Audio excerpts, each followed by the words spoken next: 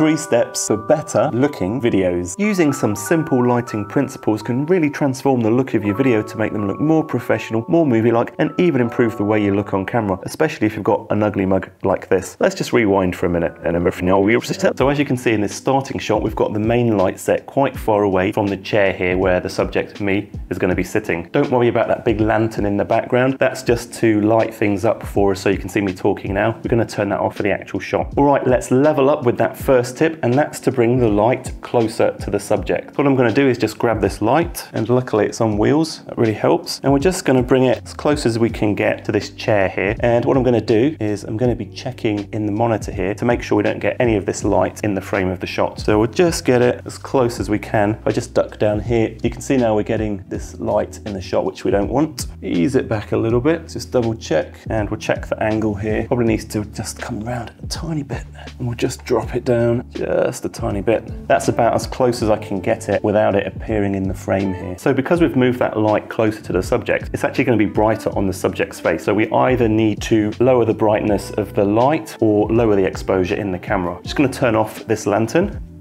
and we'll grab our trusty grey card here. I absolutely love this thing. I've done a whole video on it. I'll put a link in the description. So what I'm gonna do now is just come to the camera here. I'm gonna use the Sidus Link app to make it easier to change the brightness of this lamp. So we'll just drop it till we can see the zebras on this card. Something about there should do it. So this is what it looks like with that light further away, and this is what it looks like with that light brought closer. Let's take it up a notch to level two now, and we're gonna do that by making the light source bigger. So I'm using this Aputure light as the main light and I'll put links in the description to all of the other lights I use. And there's a few different ways to get the light source bigger. You could buy professional diffusion or reflection material and put that in a frame or a scrim. Or to save money, you could use something like an old white bedsheet. White shower curtains can work really well for this too. So what we're going to do is put this between the light and the subject, and that's going to give us a bigger light source. So what I'm going to do is I'm going to use these two C-stands and we're going to use those to hang the sheet on. I'll just move this light out of the way so make some space.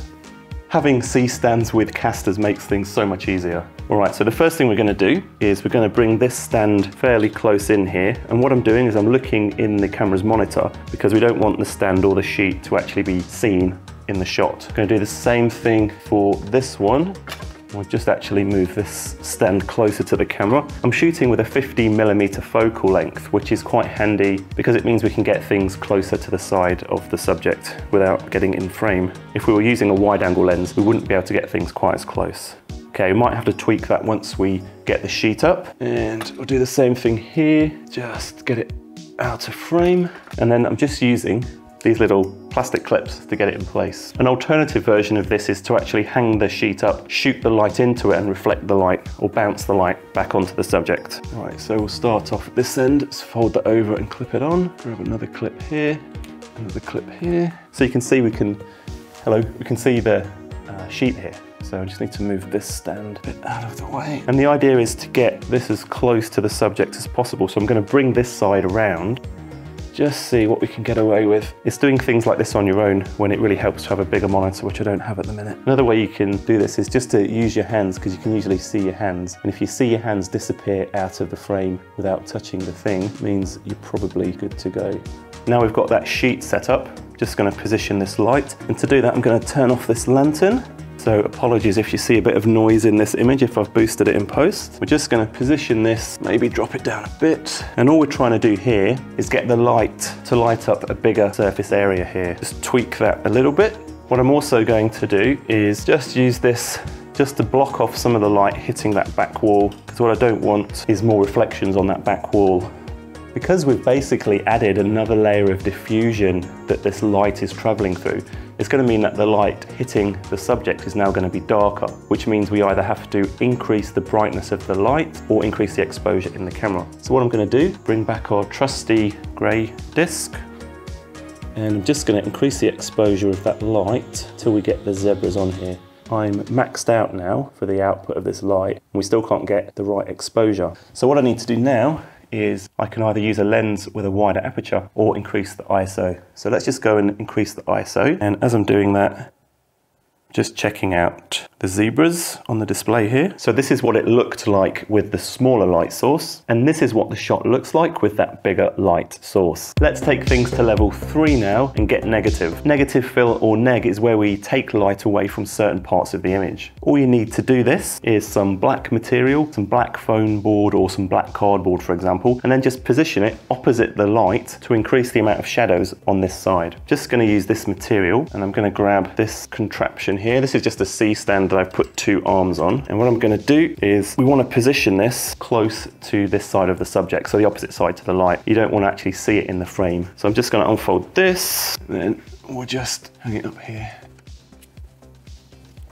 I've actually got two pieces of this. So you can experiment with different sizes of negative fill and also distance from the subject just to get different looks. And if you've got any gaps, you can always use another clip just to bring the pieces together. Next thing to do is position this so it's not in the shot. Because I'm using the 50 millimeter lens, I can get this fairly close, especially closer to the camera. Just looking in the camera's viewfinder there, just seeing how close we can bring that. I'm also going to do the same for this back end. So even though we've added this negative fill on this side, we don't have to modify the exposure from the main light if we don't want to, because it's still going to be lighting up that lit side of the face with the correct exposure. So this is what the shot looked like with no negative fill, and this is what it looks like with that negative fill added. In this shot, you should notice that this side of the face is a bit darker, and some of these areas around here and maybe under here have a bit more shadow than the previous version.